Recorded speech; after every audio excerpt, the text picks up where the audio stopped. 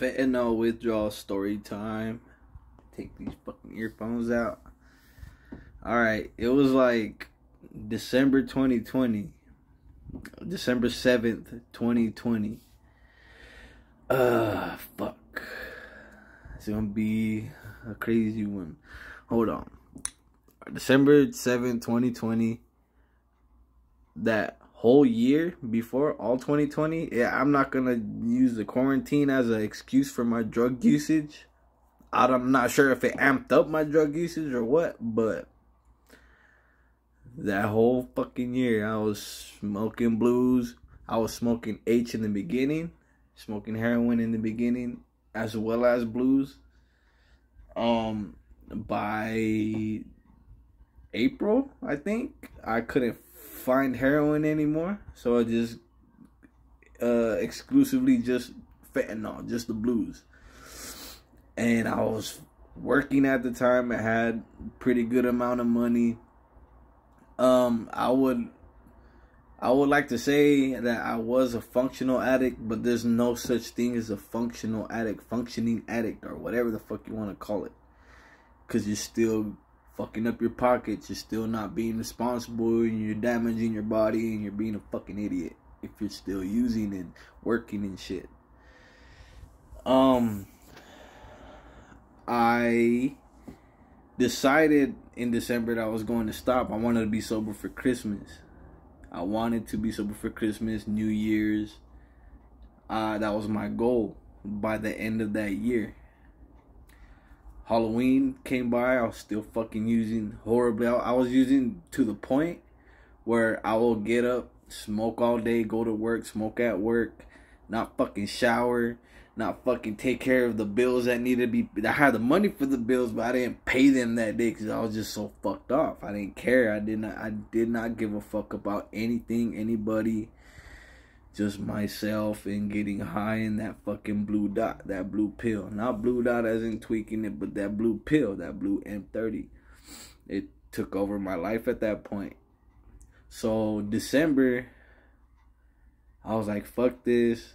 The only way I'm going is because I was working. I didn't want to quit my job or anything. I didn't want to still work while withdrawing. You can't you you I've done it a few times where oh I could power through it, yeah, but I've always fucking went back to get high like after the day or whatever the fuck after the work day.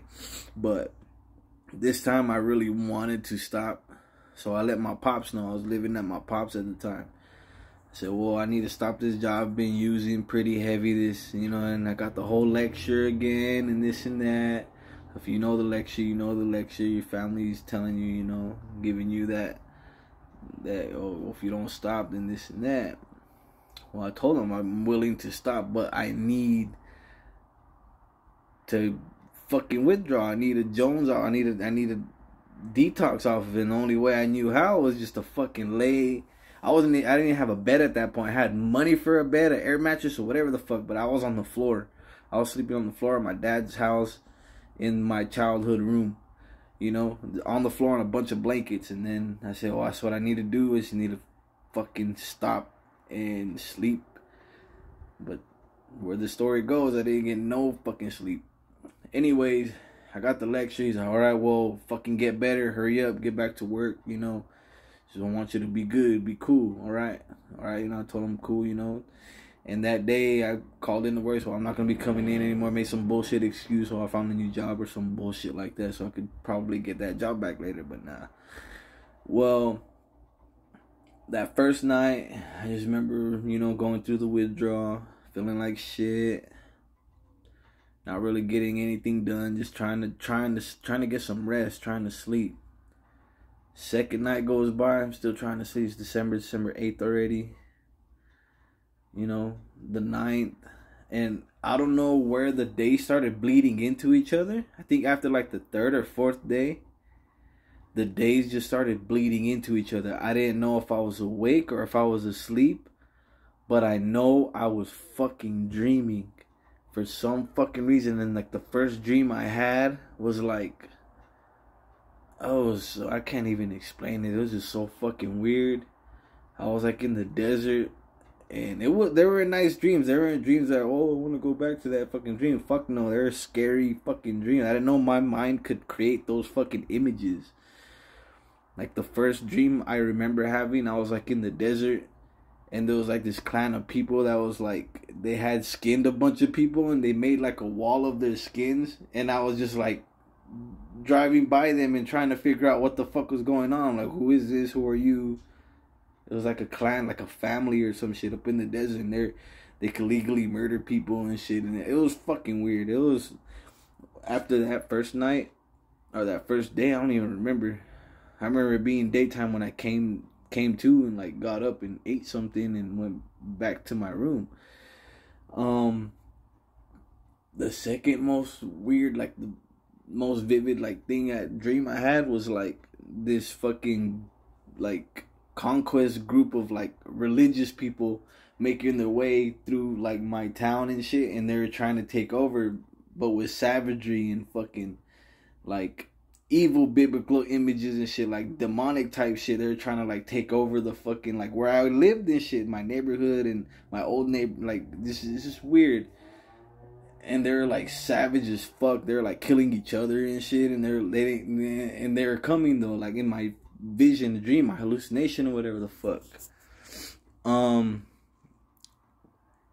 like the day after that, I had like another dream where like we were rich as fuck and we lived in like a cube, and we're artists or some shit like that, and we are like putting out shirts and weird shit. Like it was, I don't fucking know. I can't even explain it. Like that, that last dream bled into this next dream like it bled into it like it fucking it, it turned into but it was they're like day long fucking dreams or I, I call them hallucinations because this has never happened to me before up until that until december 7th 2020 i've never hallucinated like that or dreamt like that or anything like day long fucking dreams where it, they made sense and and it was like a fucking movie like it was weird as fuck.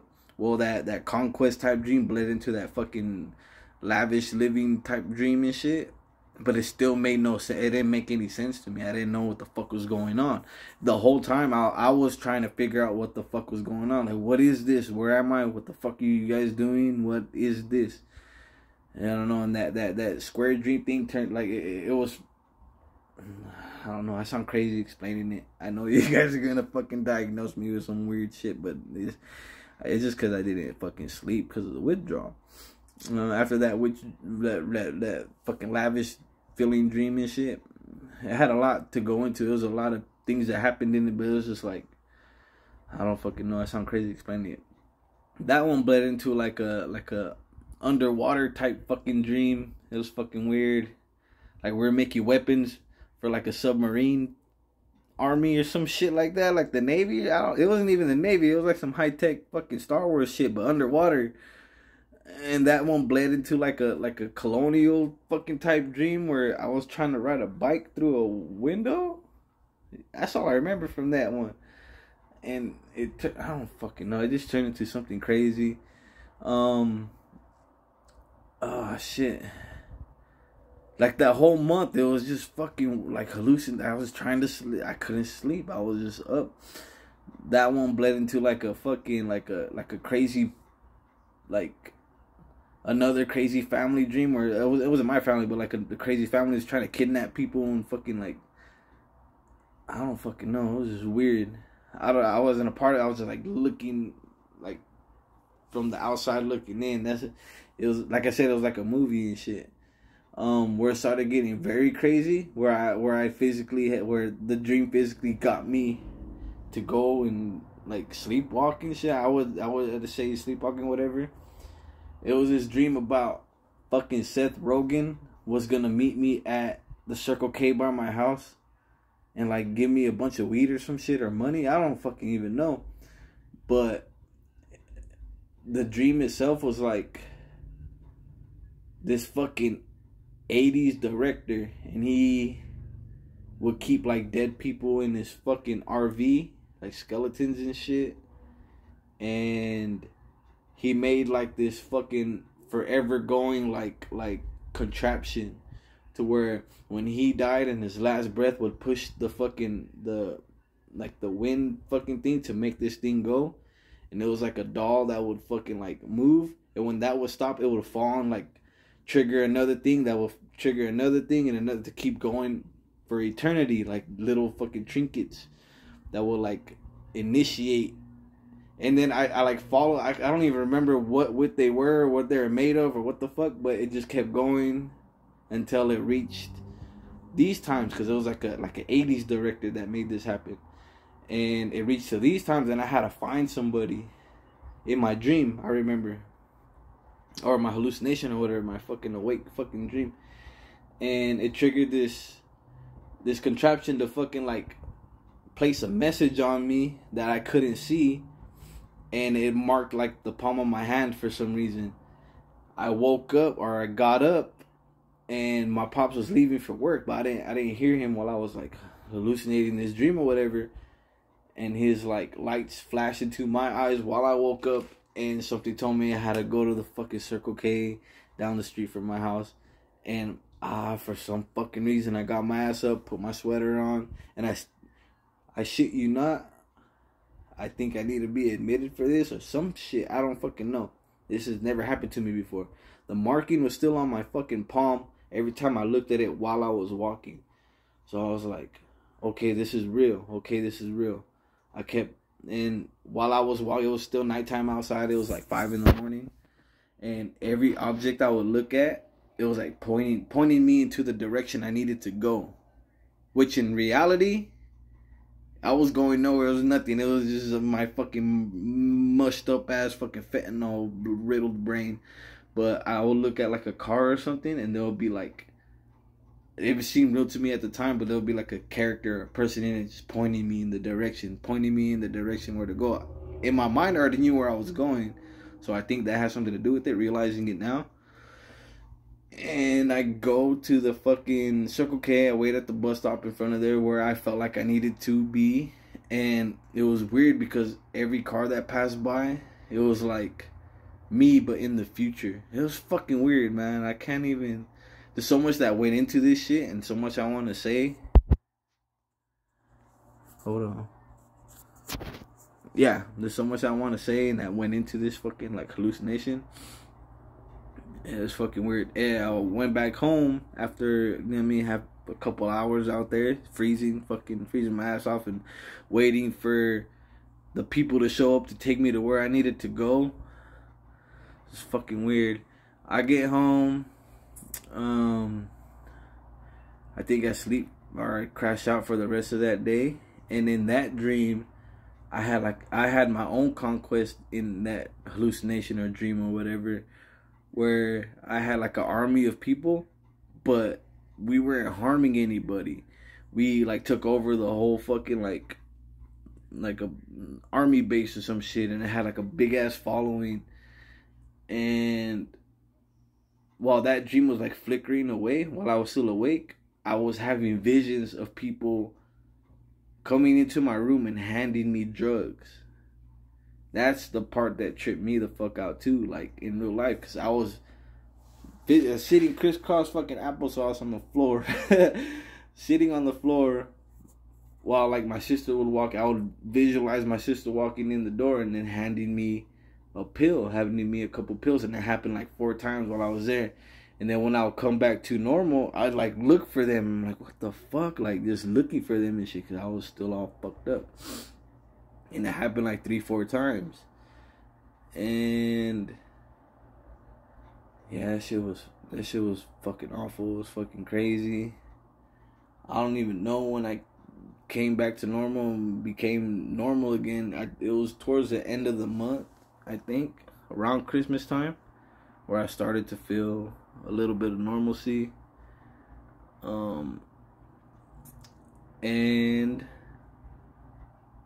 yeah, it was just not sleeping, not associating with anybody. I was literally locked in my room. I locked myself in my room, and I did the same thing I did that I, I did the same thing I did then as I did now. I gave up my keys, all my money, you know, to somebody responsible until they could see that I made a change. And unfortunately, that didn't work that time because I would just like take my shit back and and then while I was working, I fucking relapsed again because I, I I don't know I didn't feel I didn't my living situation then enabled me to fucking keep using.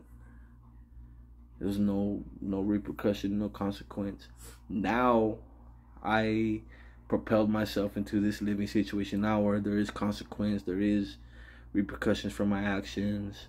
Somebody not fucking babysitting me, but basically showing me what could fucking happen if I do go back to that, if I'm not responsible. But those hallucinations, those dreams, or whatever the fuck they were, those those episodes of me sleepwalking and shit in my entire 28 27 years that I I that's never happened to me.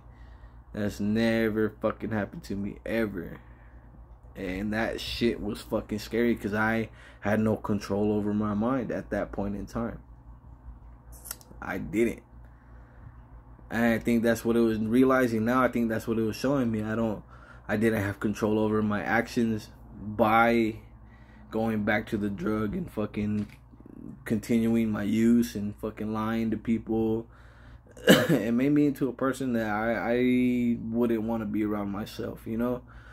And that's a real mind fuck right there. Like, that shit fucks with your head, you know? You can't, I can't live that double. So people can, you know, sociopaths and shit or fucking, um, psychopaths and shit could live that. They, they, they could do that without feeling bad or feeling irresponsible or, you know? They could live that double life, but for somebody that doesn't deal with that type of shit, it scared me. And I have yet to hallucinate again like that. I hope it never happens again, but I know it's because of my drug use. And yeah, it was very scary. Um, be this my warning and testament to anybody dealing with fentanyl usage. Um, you're gonna die from it. You're going to die from it.